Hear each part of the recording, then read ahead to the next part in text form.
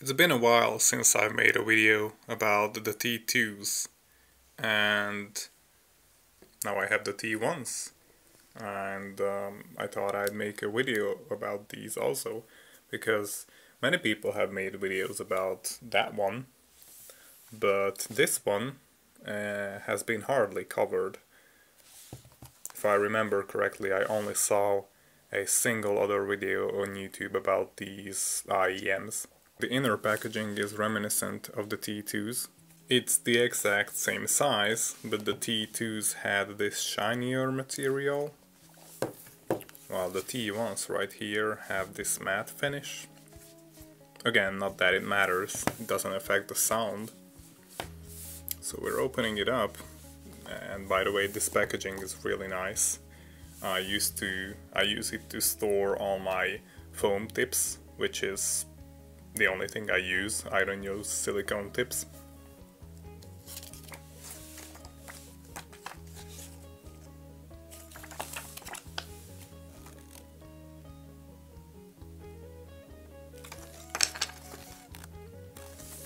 We'll quickly compare this to the T2's uh, manual or what is this the T2s are on top and the T1's description is on the bottom.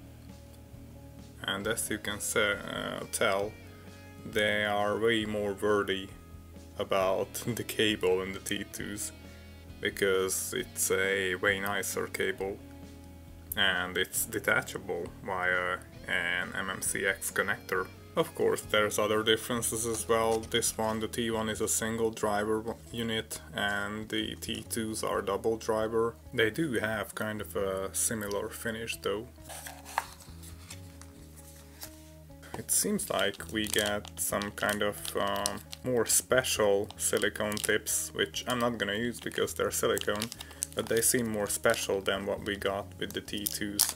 So they have this red inner part with the black outer part which seems a bit nicer, at least visually, than these ones which you get with the T2s.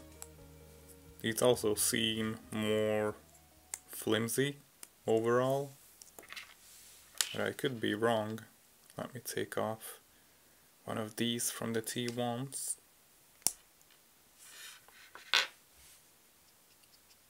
Yeah, this outer material seems a bit thicker, not to mention this inner red part is a lot stiffer and thicker than the ones you get with the T2.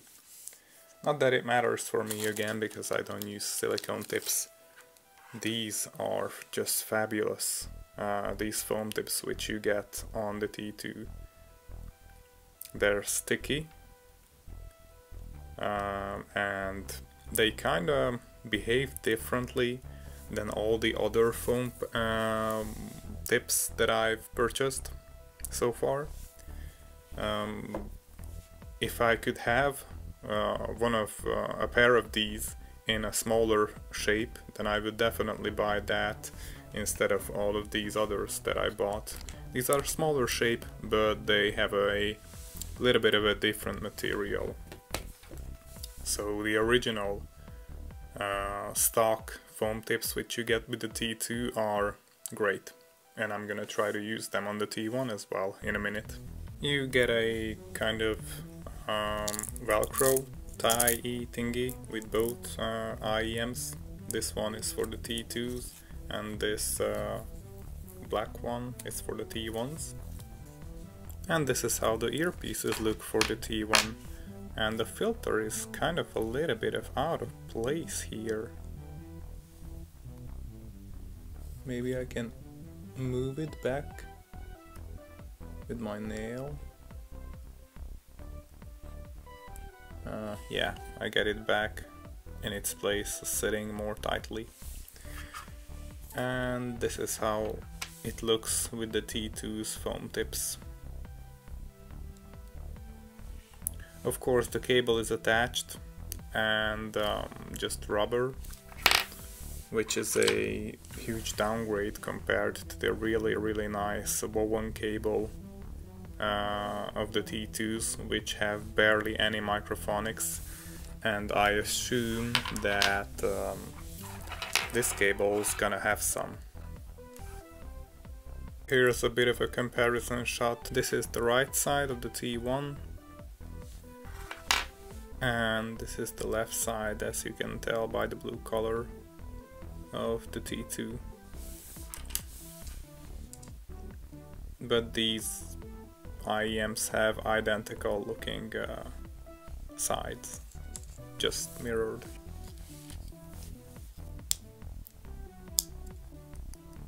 I think these are actually three buttons, not just visually, but yeah, actually.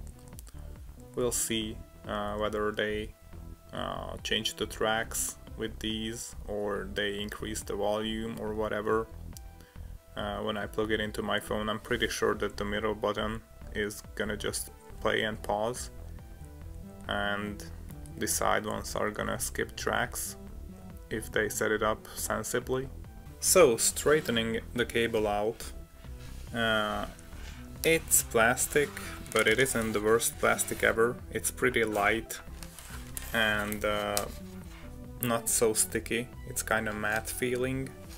It holds its shape, so Zeos would probably hate it. The split is non-adjustable. And here's how the metal part, which does the split, looks. Looks kinda neat, although, yeah, the cable ruins the look a little bit.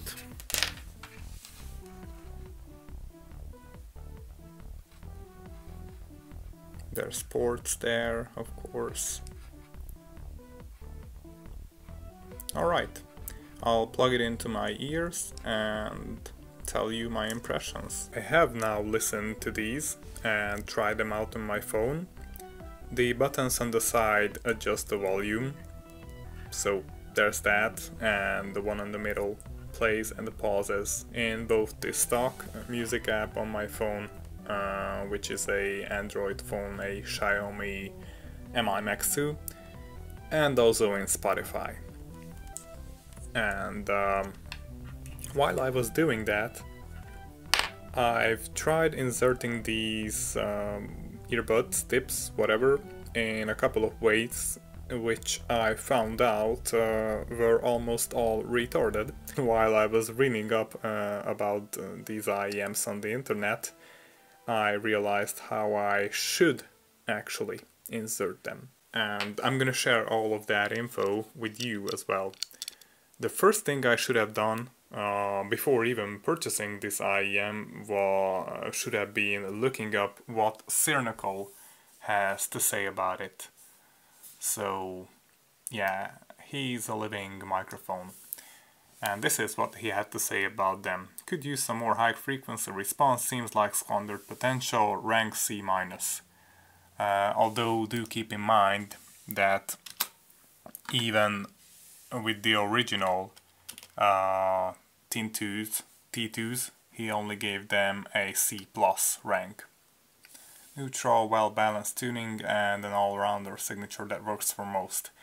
Um, what I have to add to all of this, the sound department on the T2 and the T1, I did find the T2s to be uh, more resolving and um, less, I don't know, subdued sounding. But there's a caveat, sometimes the highs, when I listen to these, uh, can get fatiguing. Mm, and I don't think you will ever run into that problem with the T1s. They're much more relaxed. But um, I won't say anything more about the sound. Uh, I also found uh, two reviews on these, which I'm gonna link in the description. They do a way better job of assessing the sound quality than I ever could and um, the second review that I found also showed me how to insert these uh, IEMs properly, which can be seen here. And uh, also did a measurement on them, so I'll link all four of these sites in the description. I do want to add some things about the fit, however, which they didn't really mention um, in the reviews, or didn't really go into as many details as I will. So, as you can see, the T2s in my right hand have uh, are a lot more straight shaped, which means uh, that you will have no problem uh, inserting them, pushing them inside your ears, um, just straight up, without hooking them over your ears, which is uh, which is something that I really like about them.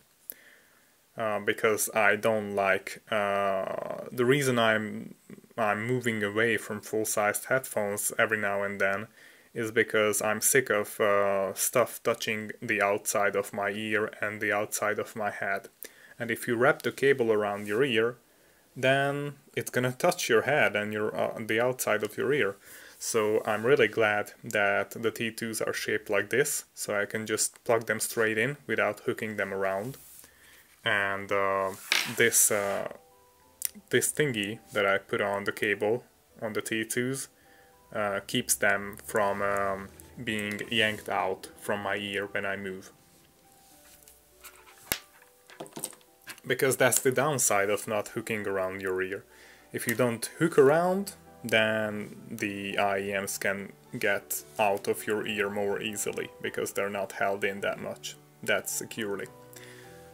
However, with these ones, uh, plugging them straight into your ears makes them uncomfortable to wear, at least for me. But there's an upside as well to the way these are shaped. Since they are not that straight, they sit more flat in your ears, you can use them more effectively as uh, bedtime IEMs, so you can fall asleep with them more easily than you could with the T2s.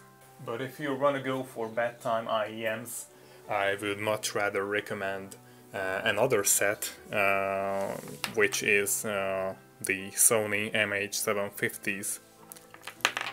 Uh, I don't know if you've heard about them or not, but um, Crinacle, who's pretty critical, as I've shown you earlier, ranks them pretty high, and he does that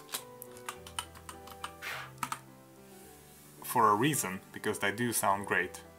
These, uh, he lists the MH755s here, but the 750s that I have here sound just about the same, uh, with just more bass, and they are physically different because they have a longer cable. Uh, the 755s that Crinacle lists over there and the ones which are more popular have a really short cable because they were originally bundled with uh, Bluetooth um, receivers uh, by Sony.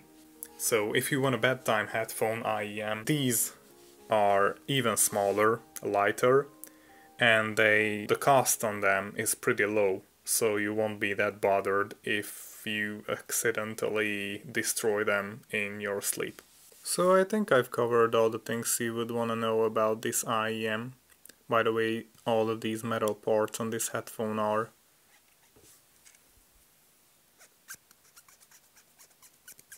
If you can hear that, they have a circular pattern and you can scrape them and parts of your nail are gonna get sanded down. Which is kind of funny. So I think I've covered all that there is to say about them and if I didn't then feel free to leave a comment below the video because I do read every single one and please also give it a rating either a like or a dislike just express your opinion on it that way. And if you want to reach me even faster feel free to join the discord server linked in the description.